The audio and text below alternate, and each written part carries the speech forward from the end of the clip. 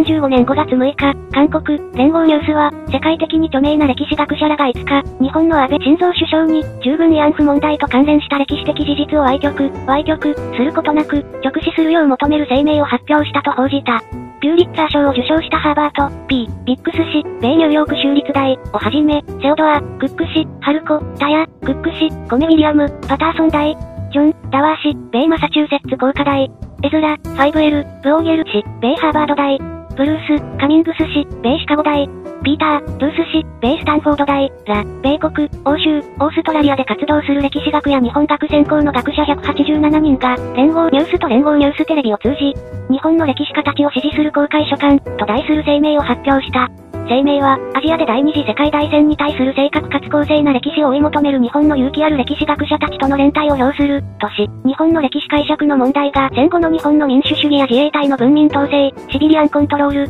科学への寄与、他国への援助などの成果を評価する上で障害になっていると指摘した。記事では、2月5日の米国歴史家20人の集団声明発表に続く、世界の歴史学会の大規模な集団的意思表示という点で、大きな波紋が予想される、と指摘。声明は外交ルートを通じて安倍首相にも直接伝えられた。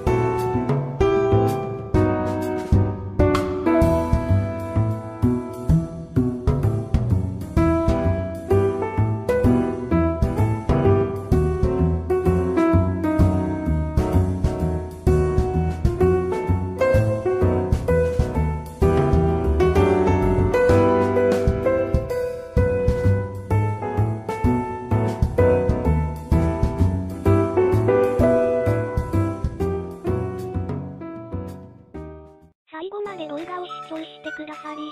ありがとうございました。当チャンネルでは、今後も、あらゆるニュースについて、動画を作成していきます。もしよろしければ、チャンネル登録のほど、よろしくお願いいたします。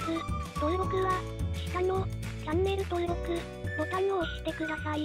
ありがとうございました。